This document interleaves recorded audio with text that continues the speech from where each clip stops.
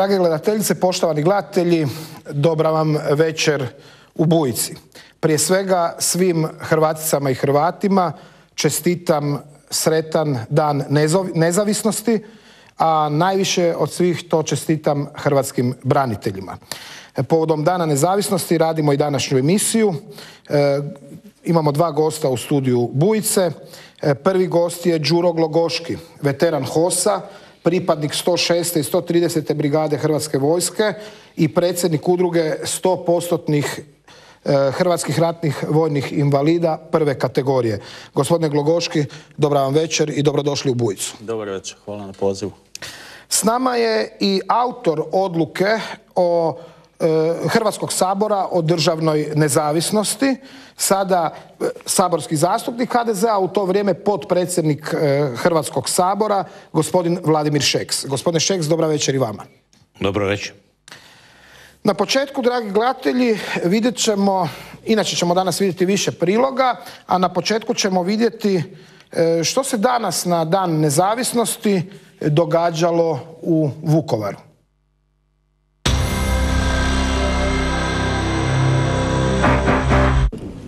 Za predsjedničku kandidatkinju Kolindu Grabar-Kitarović nije bilo upitno gdje će biti na dan neovisnosti. Sveto tlo Vukovara mjesto je gdje ovaj državni praznik dobiva puninu svojeg značaja, smatra Grabar-Kitarović. Mjesta ratnih stradanja dobro zna, obilazila ih je i prije, doduše uz veću diskreciju. No ni sada je mnoštvo kamera i objektiva nije omelo da se u sabranosti prvo pokloni žrtvama najvećeg pokolja u novijoj europskoj povijesti na zloglasnoj ovčari. Došla sam se pokloniti žrtvama ovčare, ali i svim žrtvama Domovinskog rata, svim braniteljima i civilnim žrtvama, nestalima, zatočenima u ovom herojskom gradu, gradu Vukovaru. E, koristim prigodu isto tako svim građanima Republike Hrvatske čestitati dan neovisnosti. Kolinda Grabar-Kitarović sa Ovčare se uputila u grad. Bogat je bio njezin službeni protokol, no predsjednička kandidatkinja uvijek je iznova spontano zastajala sa simpatizerima koji su joj izražavali podršku i isticali njezine osobine koje smatraju važnima. Ona voli Hrvatsku za razliku od ostalih koji su orijentirani na neki drugi način. Ne znam više koji politički, ali Očito je da to tako dalje ne može, nego da se nešto mora napraviti, neke promjene se moraju desiti. Zato smo i došli ovdje, zbog toga što je ona došla da je dočekamo i pokažemo dobrodošlicu. Sposobna, pametna, sve sve najbolje. Ona i niko drugi. Praćena mnoštvom simpatizera, Grabar Kitarović se uputila do križa na ušću Vuke u Dunav. Tu su potekle molitve za sve poginule, ali i domovinu koja prolazi teške trenutke. Well. Trenutke sabranosti potom su opet zamijenili spontani susret s građanima i fotografije za uspomenu. No osim ovakvih trenutaka zajedništva, Grabar Kitarović ima puno dugoročnije planove. Građanima Hrvatske želi vratiti razloge za trajno zadovoljstvo i ponos što su Hrvati. Simbolično je dijelila hrvatske zastave. Naše nacionalne simbole moramo više isticati, a malo dušije koje sada u Hrvatskoj vlada kaže maknut će postane li predsjednica. Sve prosperitetne nacije ponose se e, svojom državom, svojim nacionalnim simbolima i e, za mene je Hrvatska trobojnica e, nešto što treba isticati uvijek i u svakom trenutku u državi i pogotovo kad smo vani, kad predstavljamo Hrvatsku od sportskih do drugih događanja. Mislim da je isticanje nacionalnog identiteta i tog pozitivnog domoljublja iznimno bitno za razvoj države općenito, jer domoljublje i vjera u sebe preduvjet je rada s pozitivnog rada svakog čovjeka i napretka države. Možete li sebi objasniti ovo malodušje koje vlada u Hrvatskoj i zašto toga nema više? Pa teš, teško je objasniti to malodušje, doista, jer nema razloga. Hrvatska je zemlja koja ima sve potencijale da bi se živjelo puno bolje. Međutim, neka sam danas neću ulaziti u politiku i ono što vjerujem i razlog zašto sam se kandidirala jest upravo da se makne to malodušje, da se ljudima vrati osmijeh na lice. A s osmijehom na licima stotinjak rekreativaca čekalo je znak za početak šestog maratona Vukovar Tovarnik u spomene na u ratu ubijenog svećenika Ivana Burika. Grabar Kitarović podržava svaki oblik dostojanstvenog sjećanja na žrtve rata. Treba se prisjećati svih e, žrtava e, u vrijeme kada to priliči i osuđivati apsolutno svaki zločin. Tijekom boravka u Vukovaru, Grabar Kitarović se susrela i sa ženama žrtvama silovanja. Zamoljena je od njih da prekine postojeću blokadu i istinu o zločinima u ratu prenese Europi i svijetu. Danas sam možda najsretnija u mom životu, baš posebna mi je čast, a vjerujem i svima, svima e, sunčicama što je ona danas naš gost, jako nam je drago i hvala od srca što, što su snašli vremena i što su, što su evo htjeli doći. To je nama izuzetna čast. Predsjedničku kandidatkinju ispratili su uz riječi podrške. U njoj vide sugovornicu i suradnicu i smatraju da je to stav većine. Mislim da je vole svi dobri ljudi, a zli uvijek ima. Ali svi dobri ljudi je volimo, a mi posebno. I upravo to su trenuci koji zadužuju svakog kandidata da ne iznevjeri svoje simpatizere, kada i ako pobjedi u kampanji.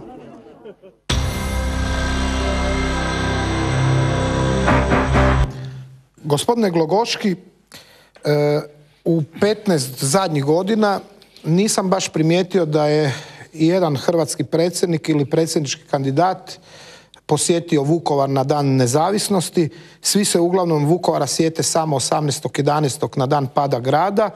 Ovo je prvi puta da je netko tko pretendira da bude predsjednik e, došao na dan nezavisnosti u grad Heroj. Kako to komentirate? Pa evo, dozvolite mi prvo da ja čestitam dan neovisnosti svima kojima je Hrvatska domovina, posebno hrvatskim braniteljima i članovima njihovih obitelji u domovini izvan nje. Pa činjenica je da hrvatski dužnosnici izbjegavaju Vukovar, osim kao što ste rekli 18.11. To je žalostno jer Hrvatska se ima čime ponositi. Hrvatska je stvorena krvju hrvatskih branitelja. Mislim da bi hrvatski dužnosnici trebali više obilaziti mjesta gdje su položeni životi hrvatskih branitelja. Gospodine Šeks, e, ovdje smo vidjeli i e, žene silovane u ratu koje su e, s osobitom toplinom dočekale gospođu Grabar Kitarović, a isto tako vidio, sam tamo i dvije majke hrvatskih poginulih branitelja iz Sotina kojima zbog skidanja ćiriličnih ploča prijeti zatvorska kazna. tu represiju provodi policija Ranka Ostojića i pravosuđe Zorana Milanovića Evo i kao e, jednog od ključnih e, ljudi svo vrijeme u nekakvom zakonodavnom e, smislu u Republici Hrvatskoj, pitam vas je li ovaj put u kojem se progoni, evo čak i majke poginulih branitelja zato što su skinule ploče, dobar put ili je to put koji Hrvatsku ne vodi u dobrom smjeru? Pa naravno da se ne može progoniti majke poginulih hrvatskih branitelja. Da je to pogrešan put. Vlada Zorana Milanovića izabrala je pogrešan put u samom startu kada je jednim jednom nasilnom primjenom, nasilnim interpretacijom Ustavnog zakona o pravima nacionalnih manjina, umjesto da se taj zakon tumači interpretira članak 8 toga ustavnog zakona da uporaba jezika i pisma nacionalnih manjina u službenoj uporabi bude takva da bude na tragu uh, jednoga dijaloga, razumijevanja sa hrvatskim narodom i sa drugim nacionalnim manjinama. Umjesto toga su stvorili zlu krv u Vukovaru i to je rezultiralo svim onim kasnijim zbivanjem koji se događala u Vukovaru i oko Vukovara. Sigurno da opravdani revolt koji dolazi od iz reda branitelja, koji dolazi iz reda uh, majki vukovarskih branitelja ne može biti uh, nikako ne može biti razlog da se zbog iskazivanja toga revolta ide kažnjavati ili procesuirati.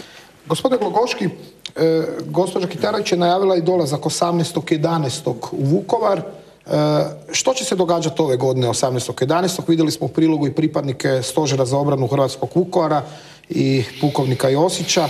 E, kako ćete se odnositi prema pripadnicima aktualne vlasti s obzirom na sve ono što se evo i u ovoj godini događalo u Vukovaru i oko Vukovara? Hrvatski branitelji sigurno će na jedan dostojanstven način obilježiti 18.11. a o tome kako će se odnositi prema hrvatskim političarima ovisit će o njima i njihovom odnosu prema hrvatskim braniteljima i članovima njihovih obitelji. O tom odnosu ćemo govoriti nešto kasnije. Sad kratko, dragi gledatelji, pogledajmo kako je to bilo 8.10.1991. i koje su to riječi koje su zapravo označile hrvatsku nezavisnost od tada.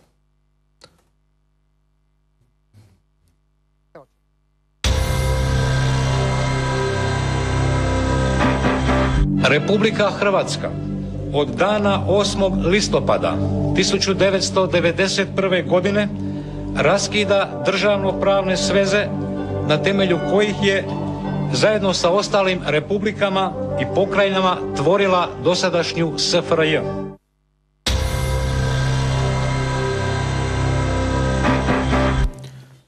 Gospodine Šeks, eto, vama je pripala ta čast. Autor ste odluke o istupanju iz Jugoslavije, to ste i priopćili, to je bilo u Ininoj zgradi u Podrumu, zato jer su dan ranije granatirani Banski dvori i dan ranije zapravo ona pokušala ubiti hrvatskog predsjednika Franju Tuđmana. E, kad danas ove vremenske distance gledate na te dane, što vam prvo pada na pamet?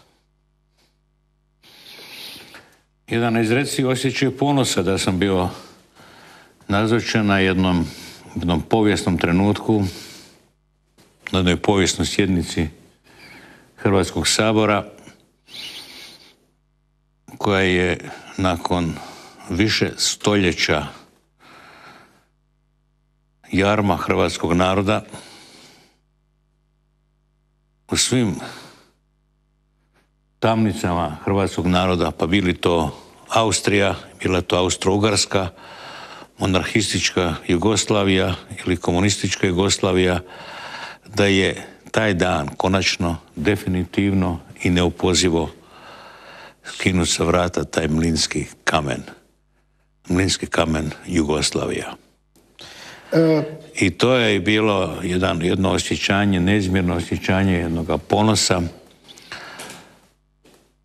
Isto kao što je bilo, kao što su kao što smo svi znali tada u ovoj, toj dvorani, da je to tek samo uvertira.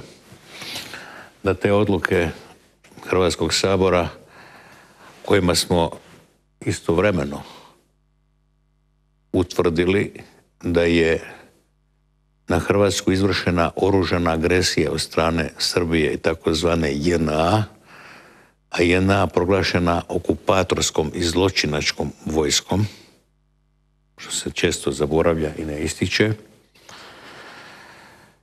da su te odluke značile da će se hrvatski narod morati izboriti za svoju nezavisnost krvavo. Gospodine Glogoški, gdje ste vi bili tada u desetom mjesecu 1991. godine? Na Osječkom rati, što znači u tom dijelu sam bio i kasnije ste sve što vam, svoje zdravlje, sve svoje što ste imali, osim života, dali za Hrvatsku. Da, ranije sam 3.1.1992. godine i od tada sam bio na rehabilitaciji po bolnicama i toplicama. Kako ste vi na frontu dočekali proglašenje ocijepljenja od Jugoslavije? Pa sigurno bilo je pitanje trenutka kada će se to dogoditi. Mi smo očekivali daleko ranije, međutim bili su opravdani razlozi zašto se to ranije nije dogodilo. Naravno, svim hrvatskim braniteljima to je značilo nešto, jedan dodatni, jedno dodatan napor za sve ono da Hrvatska država bude slobodna i da bude samostalna. E, gospodine Šeks, danas se održala svečana sjednica Hrvatskog sabora. E, javili su mi gledatelji, ja moram se ograditi, nisam stigao gledati sve, ali ljudi koji su gledali cijelu sjednicu kažu da ni u jednom trenutku nije bilo od strane onih koji su priredili ceremoniju spomenuto ime hrvatskog predsjednika Franje Tuđmana. Je li to točno i ako je točno, kako to komentirate? Točno je to. Ja sam bio na toj sjednici cijelo vrijeme. Je vam to zasmetalo u nekom trenutku? Pa sigurno da je. A zašto onda zastupnici se ne dignu pa odu, bez obzira što će reći da to nije u redu jer je dan za svečanost i tako dalje, ali nije li time obezvrijeđen dan nezavisnosti ako se ime Franje Tuđmana od strane ove vlasti ne spominje i to namjerno? Nešto se dogodilo prošle godine na dan nezavisnosti isto u Hrvatskom saboru. Nešto daleko gore gdje je prikazan jedan kratki desetminutni film iz kojega se nije uopće ni spominjao ni predsjednik Tuđman, ni najvažnije sekvence iz Domovinskog rata, a i izgledalo je po tom filmu kao da je hrvatska povijest i slobodna i demokratska Hrvatska počela od dolaska Ivice Računa na vlast 2000. E, godine. To je bilo to. E, slušajte, e, nije, nije uobičajeno ovaj, da se u takvom jednom svečanom trenutku pa jednostavno da dođe do, do napuštanja saborske sjednice. O tome bi trebao se postaviti, podnijeti jedan prethodni dogovor, ali očito da to nije tako. Ja mislim da to nije, da to nije najbolji put, ali zato uh, je najbolji put da se uh, da se ona ekipa koja to organizira da se skine sa vlasti. Gdje su oni bili 91. godine u vrijeme kad se u INI vidjeli smo Budišu E, vidjeli smo još neke ljude, ali gdje su bili, evo pitaću vas, je li tamo bio sadašnji predsjednik Josipović, gdje je bio premijer Milanović, po vašim saznanjima, možda imate te informacije? Ne znam. Ne znam. A jesu bili tamo? Molim, tamo? nisu mogli biti tamo kad nisu bili zastupnici. Aha, dobro. Znam da je nekoliko bilo ovaj, e, za razliku od SDP-a 25. lipnja, kada je Hrvatska proglasila suverenost i samostalnost, proglasila i pokrenuo postupak Hrvatski sabor za razdruživanje, tada u sabornici, u Hrvatskom saboru, tada je predsjednik socijaldemokratske partije Ivica Račan podnio kontraprijedlog onoj prijedlogu ustavne odluke o suverenosti i samostalnosti koje sam ja također imao sreću i čast biti jedan od glavnih autora te odluke, tada je, su podnijeli amandman, Ivica Račan i drugovi podnijeli su amandman koji je glasio ovako. Republika Hrvatska se pokreće postupak razdruživanja i istovremeno pokreće postupak udruživanja u novi savez jugoslavenskih republika. I nakon što je to parlamentarna većina odbila, sa obrazloženjem da mi iz Jugoslavije izlazimo i nećemo sada odmah pokretati postupak da ponovo stvaramo novu Jugoslaviju. Tada je glavnina zastupnika SDP-a, glavnina napustila iz prosjeda sabornicu. A jedan dio koji je ostao je glasovao protiv ustavne odluke o suverenosti i samostalnosti Hrvatske. E, te scene su dobro poznate. E, gospodine Glogoški, e, kako vi danas gledate na, evo imali smo sad ovu zadnju aferu sa Dejanom Jovićem i sve te stvari, kako hrvatski branitelji gledaju na sve češće spominjane mogućnosti da se stvara možda ne neka nova Jugoslavija, ali uglavnom da se e, razvija takozvani region, e, regionalna suradnja nasuprot e, evo, smjernicama prema Europi, prema Briselu, Beću, Berlinu. Kako jedan čovjek koji se borio za Hrvatsku s puškom u ruci, krvario doslovce za Hrvatsku, gleda na vapaje za Jugoslaviju? Pa sigurno je da to braniteljima neprihvatljivo. Prije svega što se ovdje radi o ljudima koji vode takvu politiku, koji nisu smatrali Hrvatsku svoju domovinom. Ne znamo da li smatraju i danas, obzirom kako se ponašaju prema svojim eh, hrvatskim braniteljima i onima koji žive u Republici Hrvatskoj, ali očito je da sve ide u tom pravcu rekli ste region. U posljednje vrijeme sve češće se taj red spominje, ali ne samo u razgovoru građana na ulici, već i među hrvatskim političarima. Ne znam kakav je stav u ovoj trenutku opozicije vezano za to, ali bit će zanimljivo vidjeti ovaj, kada se bude trebalo izjasniti o tome i kada se bude vidjelo dokle će otići ova politička opcija u tome da Hrvatska bude dio nečega iz čega je izašla, a to je region.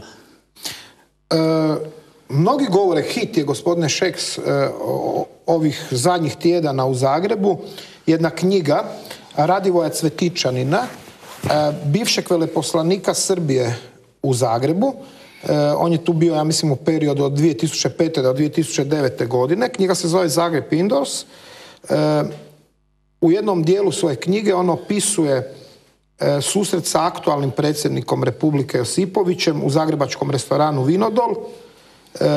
Tamo, su, tamo je on s velikim zadovoljstvom primio određene papire o povlačenju i predlagao, dakle, dao je papire srpskom veleposlaniku naš predsjednik i govorio o povlačenju tužbe za genocid, što, što je srpski predstavnik kao ideju s oduševljenjem prihvatio. Kako gledate vi na taj sastanak i te memoare Radioa Cvetićanina? Jeste ih pročitali? Nisam ih pročitao. Imam iz druge ruke, imam tako neke posredne informacije o tome, ne znam šta je pravi, šta je pravi sadržaj u vezi toga sastanka u Vinodolu.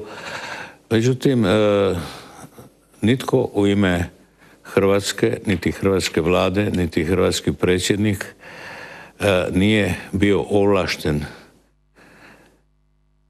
davati bilo kakve izjave i bilo kakove dokumente koji bi se odnosili na povlačenje ili status Hrvatske e, tužbe protiv Srbije za genocid.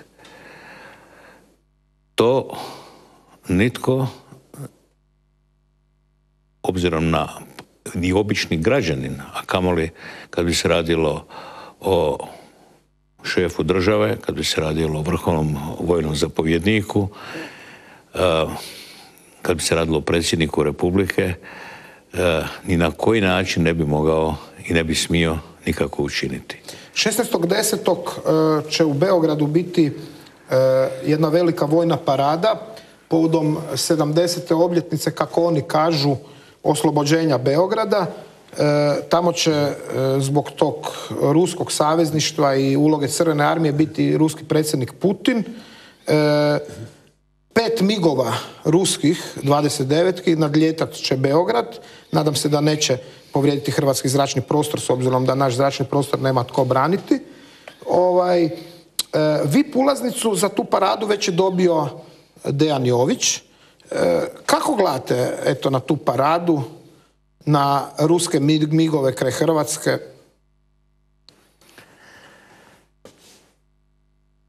E, da je Dijan Jović dobio tu pozivnicu, to je sasvim razumljivo.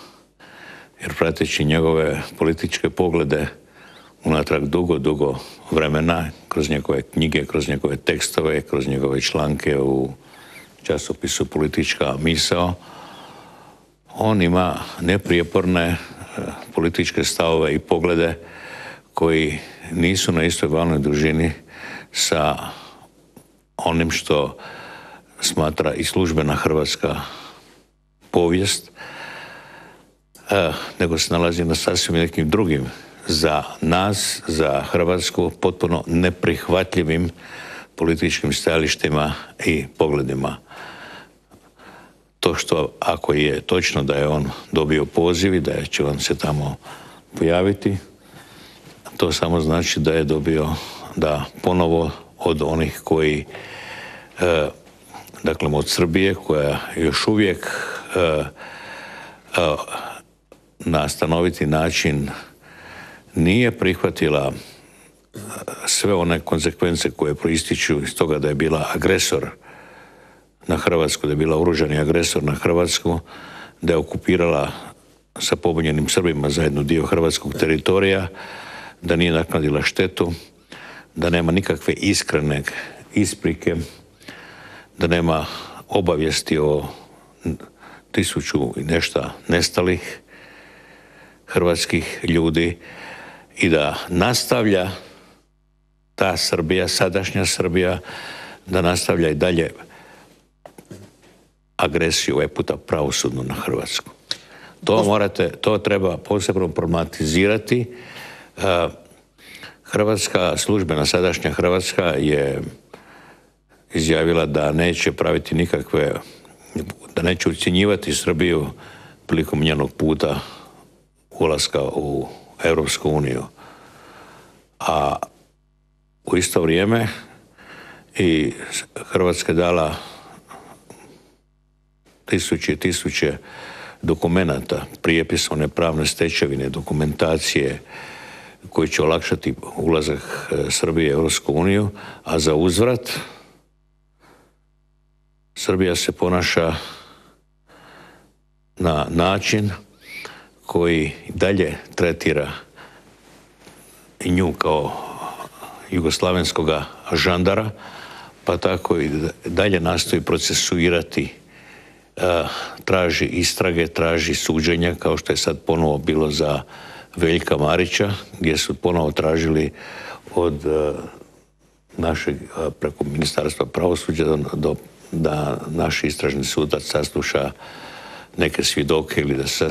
To je, to, je zato, to, je... zato jer mi ne sudimo e, stvarnim zločincima ovdje, pa e, Glogoški, dajte vi recite, kako vi gledate na tu e, prijetnju zapravo migovima? Oni to tobože rade svečanost povodom 70. obljetnica, a pokazuju da oni imaju velikog brata koji može prijetiti Hrvatskom. Boje li se hrvatski branitelji te srpsko-ruske prijetnje Nismo se bojali ni 91. ne bojimo se ni danas. Međutim, jedan drugi problem je informacija od juče najnovija. Kaže, Hrvatska je članica Europske unije i članica NATO-a. A na Hrvatskom vojnom učilištu školovat će se časnici iz regije. Školovat će se časnici iz zemlje koja je izvršila agresiju na Republiku Hrvatsku. To je ono što je neprihvatljivo za hrvatske branitelje. Idemo sad e, na reklame, dragi gledatelji.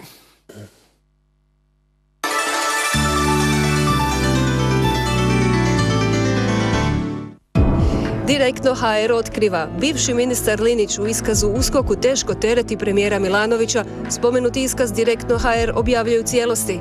Klikam samo direktno.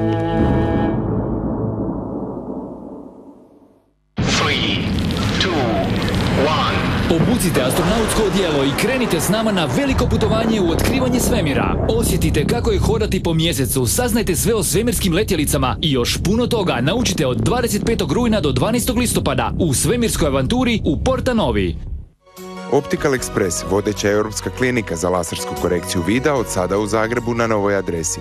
Uz najbolju tehnologiju pružit ćemo vam i najbolju njegu, jer vaše nam je zdravlje na prvom mjestu.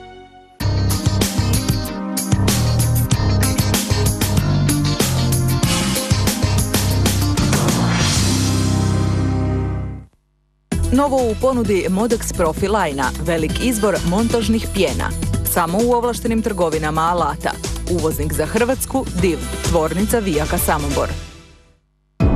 Direktno HR otkriva. Bivši ministar Linić u iskazu uskoku teško tereti premijera Milanovića. Spomenuti iskaz Direktno HR objavljaju cijelosti. Klikam samo direktno.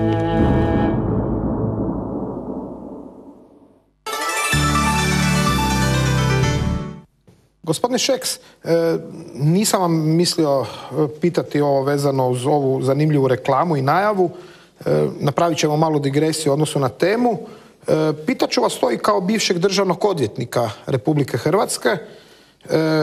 Ovo je vrlo ozbiljno. Ako gospodinu Linić uistinu tereti u uskoku premijera Zorana Milanovića, znači da je iskaz dao zapravo pod prisegom, znači da to nije nešto ono tipa rekla kazala. E, koliko sam uspio vidjeti nakratko na portalu Direktno HR, e, Ranko Ostojić žalio se Slavku Liniću e, da je Milanović od njega tražio da ne podnese prijavu protiv Nade Čavlović Smiljanec. Da se to dogodilo u Sjedinim američkim državama, istog trenutka bi bio pokrenut postupak opoziva protiv prvog čovjeka Amerike, no dobro, mi ne živimo u Americi, mi živimo u Hrvatskoj kako evo vi kao pravnik gledate na ovu aferu? prvo moramo početi od nešto, da li je nešto e, točno, da li je nešto istina, a jedino što se uvijek razumno treba reći u ovakvoj situaciji, u ovakvom slučaju, da promptno hrvatsko pravosuđe, dakle državno odvjetništvo, uskok, da trebaju hitno i najbrže reagirati. Ako se radi o kaznanoj prijavi koji je bivši ministar podnio protiv predsjednika vlade, ovo što je... Radi se o jednom drugom slučaju gdje je svjedočio Slavko Linić, no dobro. Neovisno o tome, ali se, ali se radi, u svakom slučaju se radi o vrlo osnovanoj sumnji za teško kazneno djelo. E, ako, I tu, tu je potrebno provesti promptno hitnu istragu. E, vama stalno Milanović spočitava Ivu Sanadera, ne samo vama, mislim cijeloj vašoj stranci. Može li on ići stopama Ive Sanadera pa završiti u Remetincu za dvije, tri godine? Ne želim da gatate sad, ali ako se optužbe prvog, njegovog prvog suradnika Linića pokazu točnima, što će biti s Milanovićem? A, slušajte, HDZ se je, je već se je očistio i platio je vrlo tešku i visoku cijenu radi koruptivnog djelovanja, ponašanja i bivšeg čelnog čovjeka HDZ-a i još nekih pojedinaca. I kogod se krene, ako bi neko krenio tim putem kojim je krenio bivši, bivši premijer, ako bi tim putem krenio i sadašnji premijer, onda bi doista e, bi doista se Hrvatska našla kao država našla bi se u jednoj e, strahovitoj situaciji da joj prvi ljudi i vlade ulaze u takve kriminalne ako je, zone. ako je, međutim, da, da. Međutim, e, međutim, uvijek treba polaziti od te pretpostavke i nevinosti, ali i od pretpostavke da treba u ovakvim slučajevima vrlo brzo i hitro pravosuđe reagirati. Tu nema mjesta nikakvom odogovlačenju jer se tu radi o ključnim temeljnim državnim strateškim interesima i čelnim ljudima Hrvatske države. Idemo sad ponovo, dragi gledatelji, u Vukovar, e, gdje je prije dva dana bila presica stožera za obranu Hrvatskog Vukovara.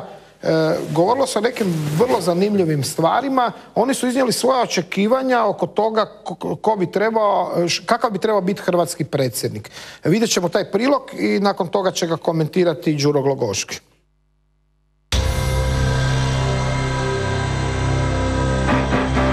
O predsjedničkim izborima po prvi put se ovog tjedna javno oglasio i stožer za obranu Hrvatskog Vukovara. Članovi i simpatizeri nacionalne građanske inicijative zalažu se da na predstojećim izborima Hrvatska dobije nacionalnog, a ne ideološkog predsjednika, kakvog nažalost sada imamo. Drugo, neutralizirati štetne utjecaje pojedinih stranih zemalja u uredu predsjednika, obavještajnim službama i u Hrvatskoj vojsci.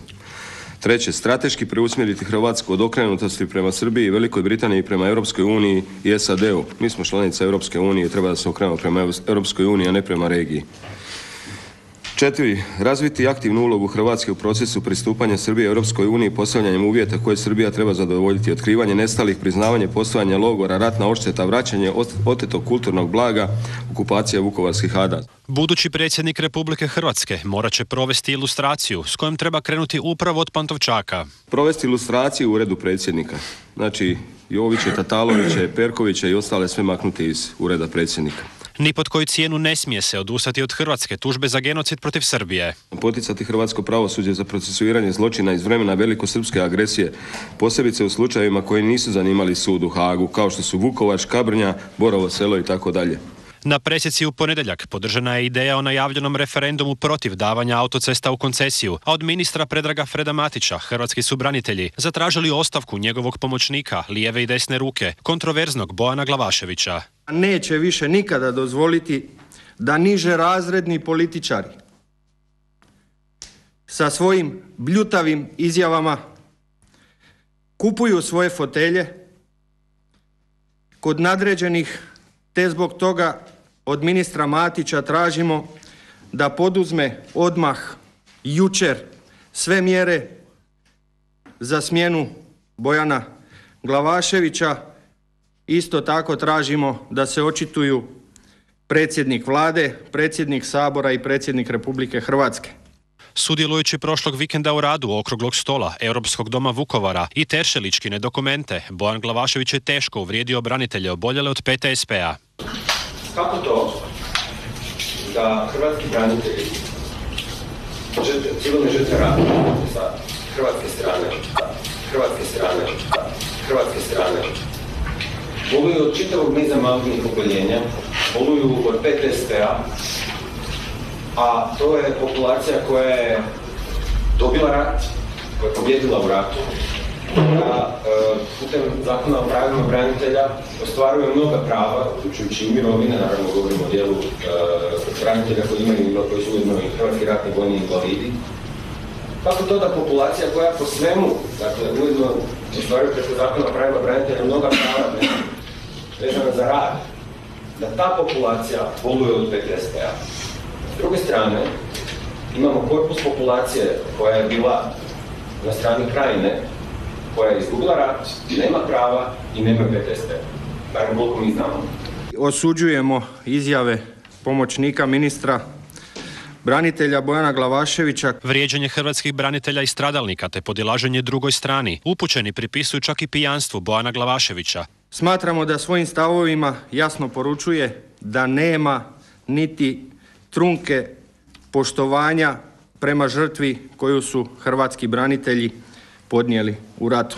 Koliko je situacija u Vukovaru zapravo napeta, svjedoči i svojevrsni medijski rat, koji već mjesecima vodi lokalna srpska radio postaja Dunav iz Borova sela. Voditelji te postaje hrvatske branitelje vrijeđaju, isto kao i Glavašević, a aktivnosti stožera i Vukovarsku kolonu sjećanja u svojim komentarima na Facebooku čak uspoređuju s gay prideom, što je do sada nezabilježena uvreda.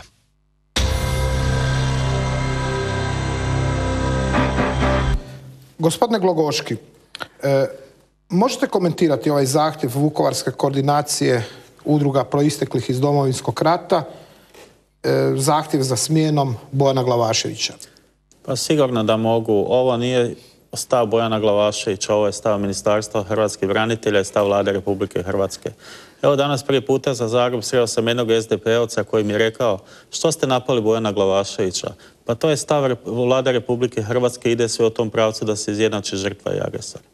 E, vidjeli smo u prilogu koji me pomalo i iznenadio, e, Bojan Glavašević kad govori o hrvatskoj strani pokazuje ovakav znak navodnika, kad spominje krajinu ne kaže takozvana krajina, a nakon toga u izjavama Predrag Matić Fred relativizira ovaj njegov skandalozni istup i kaže da on nije tako mislio. Između ostaloga, e, jedan i drugi tvrde da se u Srbiji E, tamošnje vlasti ne brinu za oboljele od PTSP-a jer ih naprosto nema. A sad ću ja ovdje reći da sam razgovarao sa jednom od ključnih osoba koja je radila na toj problematici u Ministarstvu branitelja, to je dr. Herman Vukušić, koji mi tvrdi da i Fred Matić i Bojan Glavašević, citiram Vukušića, lažu da tamo postoje centri diljem Srbije, jedan od najvećih je u Novom Sadu, a da je Republika Srbija u publikacije i razne dakle druge stvari vezane uz tu problematiku u zadnjih deset godina uložila tri puta više nego Republika Hrvatska. E, vrijeđaju li vas takvi istupi Freda Matića i njegovog glavnog e, čovjeka Glavaševića, s obzirom da nije ovo riječ o prvom ispadu te vrste? Pa sigurno da vrijeđaju. E, Srbija nikada neće priznati da ima oboljele od PTSP-a koji su sudjelovali u agresiji na Republiku Hrvatsku, ali na taj način priznaju agresiju na Republiku Hrvatsku. Ali to što neće učiniti Republika Srbija, učinit će Republika Hrvatske i očito je da će koji je cilj ove vlade u sljedeću godinu dana da prizna prava onima koji su sudjelovali u agresiji na Republiku Hrvatsku. što, je, nešto ovaj, mene toliko ovaj, ne, ne zabrinjava istup Glavaševića. Mene više zabrinjava potpora Freda Matića Glavaševiću kao ministra. Šta je, šta je koja je jedna, koja je jedna prikrivena poruka od Bojana Glavaševića? On kaže hrvatski branitelji pa je stavlja pod navodnikom, jel? Pod navodnikom oni su bili pobjednici i u isto vrijeme su bili i žrtve e, PTSP-a i malignih oboljenja. A Srbi koji su se borili protiv njih, oni nisu oni nisu bili žrtve PTSP-a ni malignih oboljenja.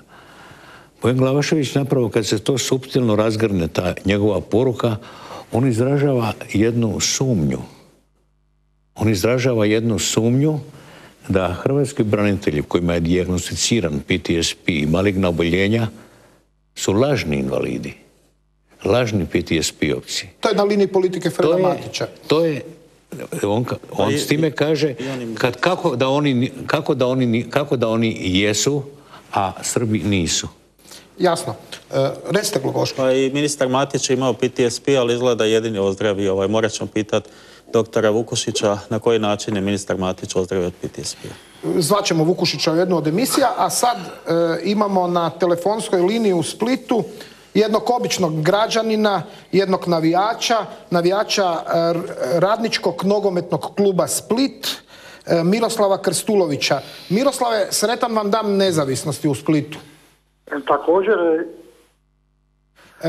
recite nam, bili ste nedavno na utakmici radničkog nogometnog kluba Split i tamo su vam došli zaštitari i policajci i oduzeli su vam jednu zastavu. O kakvoj se zastavi radi i šta su vam zapravo napravili? Sad ću moliti samo režiju kratko, jer to traje nekoliko sekundi što ste snimili mobitelom, da, da, da napravimo kao uvod, da puste i taj video. Evo, režija pušta. Radi se o zastavi HOS-a, a imamo i video. tako da, kad budu spremni, nek puste video. Javit će mi, evo videa.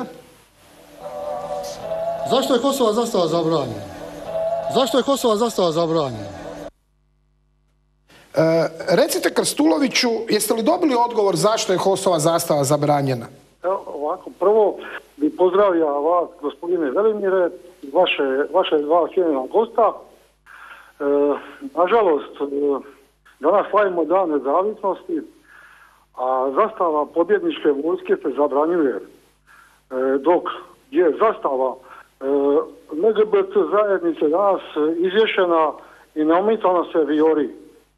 E sad, koliko je to, koliko je to normalno za našoj, našoj lijepoj da, recite mi Krstuloviću, došli su vam zaštitari i uzeli su zastavu. I to se često događa, to nije prvi puta. Ne, ne, ne, to nije, nije prvi, to je, to je drugi put, drugi put da mi se već dešava. o kojoj tvrtci riječ? Možemo i to reći. Čiji su to bili zaštitari? A neka sviva patronas, patronas. Patronas od, od, od, od nekog boksača, ono. Bili ste i na utakmici Hrvatske nogometne reprezentacije Hrvatska-Srbija i tamo su oduzimali zastave i to hrvatske zastave sa prvim bijelim poljem. Oduzimali su i majice stožera za obranu Hrvatskog Vukovara. Je li to točno? Tako je, tako je, tako je. Meni je čak zabranjeno da izdišem hrvatsku zastavu znači na ogradi. Znači, legalno hrvatsku zastavu... Recite. Šta, šta bi još rekao? Znači, Znači ovako policajac meni, policajac meni kaže znači da zastava hoca izaziva nelagodu od nekih ljudi. E sad bi ja vas pitao, da li hrvatska zastava isto za, izaziva nelagodu kod nekih ljudi? Treba li nju zabraniti? E, gospodine Krstulović, evo to ćemo pitati naše goste. Hvala vam lijepa na javljanju. Dobro, e, doviđenja, doviđenja. Bog. E, evo, jedan navijač, vrlo kratko, jedan primjer. E, vi ste Glogoški bili Hosovac. E, sjećam vas se i kad ste došli u Varaždinske toplice, tamo smo se družili. E, kako gledate na to da danas zastava pod kojom ste se borili nije dobrodošla Ostojićevoj miliciji i da zapravo oni to ljudima oduzimaju kao da se HOS borio za planet Mars, a ne za Hrvatsku? Mnogi, mnogi HOS-ovci dali su svoj život za Hrvatsku slobodu, mnogi su ostali invalidi, ali ono što je žalostno, evo i u ovom primjeru vidimo, a još žalostnije od toga svega je kad dođemo na obilježavanja nekih događanja iz domovinskog rata ili evo danas poput dana neovisnosti, dana državnosti ili nekih među onim brojnim zastavama raznih ratnih postrojbi Hrvatske vojske, policije, nema zastave HOS-a. Pa ja bih evo postavio pitanje gospodinu Šeksu ovdje zašto je to tako. Dragi Đuro, ja svjedočim osobno i znam jako dobro da su pripadnici HOS-a bili jedna od najhrabrijih, najelitnijih postrojbi Hrvatske oružane sile, Hrvatskih obrambenih snaga. Oni su se vrlo brzo uh, uvezli u cijeli sustav Hrvatske obrane, Hrvatske vojske, Hrvatskih oružanih snaga i brojne postrojbe HOS-a su doista izvršile na nizu najtežih bojišnica velika herojska djela. To su bili vrlo mladi, vrlo mladi momci koji su prezirali smrt, koji su išli tamo gdje gdje je najgušće, gdje je najteže. Vi ste bili jedan od njih. E, ne može se, jer HOS je i službeno, službeno ne rehabilitiran, nego priznat službeno kao jedna od legitimnih sastavnica Hrvatske oružane sile. To što oni imaju određena to što oni imaju određena određene kao što je za dom spremni, to nije razlog da se te zastave zabranjuju, da se uskraćuju. To nije izraz, to nije izraz niti endehazijskoga, to je izraz jednoga, jednoga do, čistoga, iskrenoga domnjovlja. Gospodine Šeks, e, a zašto zabranjuju, sad ću vas i to pitat, iz cijele Hrvatske dobijam puno mailova i tih primjera i moram priznati da se to nije događalo prije nego je ova koalicija došla na vlast, zabranjuju zastave povijesne sa hrvatskim prvim bijelim poljem, pod tom zastavom je na Jelačić placu su postrojeni prvi hrvatski redarstvenici, sjećamo se onih lijepih scena, kako to da zastava sa prvim hrvatskim bijelim poljem smeta Ranku Ostojiću i njegovim milicajcima? Gledajte, 90. godine kada se je donosio Hrvatski ustav, Božićni ustav, kad se donosio zakon o grbu, zakon o zastavi, bile su jako velike polemike da li će u zakonu o grbu da li će grb počinjati prvo sa bijelim poljem ili sa crvenim poljem, jer je u povijesti bilo u puno grbova u hrvatskoj povijesti, neki su počinjeli sa bijelim, neki su počinjeli sa crvenim poljem, pa i na crkvi Svetog Marka ispred Hrvatske sabornice. I sad to neko zabranjuje? Je, grb koji počinje sa bijelim poljem. Istina, zakonom je utvrđeno da grb počinje sa crvenim poljem. Ali to ako će netko ovaj, ako neko neće ovaj e, službeni grb, ako će stavljati sa, druga, sa bijelim poljem, a ne sa crvenim poljem, povijesni jedan od povijesnih hrvatskih grbova, to nije nikakvi razlog, nikakvi razlog da se to zabranjuje ili sankcionira. E, pa eto, na Markovom trgu pod tim grbom e, će ratnici prosvjedovati zajedno sa radnicima. E, podržavate inicijativu o referendumu protiv monetizacije autocesta.